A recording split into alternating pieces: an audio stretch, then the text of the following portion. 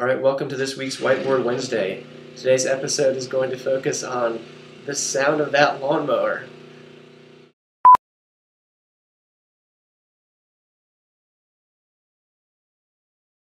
All right, welcome to this week's Whiteboard Wednesday. Today's topic is going to be training with purpose. And if there's some noise on, on, the video, there's some construction going on down the street, so I apologize for that.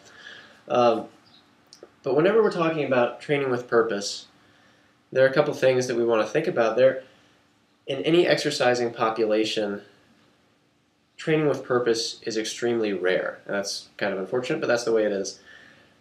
And two of the things that are very common that prevent people from exercising, from training with purpose, exercise ADD, that's what I like to call it. And those are people who like to move around from gym to gym, program to program. They program hop a lot.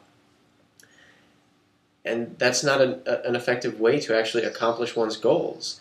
You actually have to choose one particular thing and stick with it for an extended period of time if you actually want to accomplish anything, if you want actually want to see whether or not what you're doing is effective.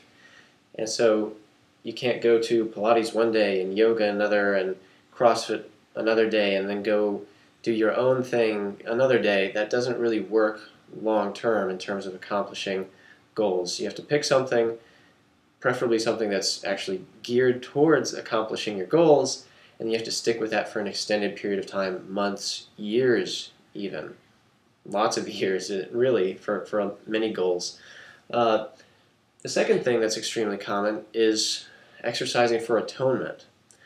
So many people exercise to suffer, to feel pain. And that's obviously not a healthy thing to do physically or mentally.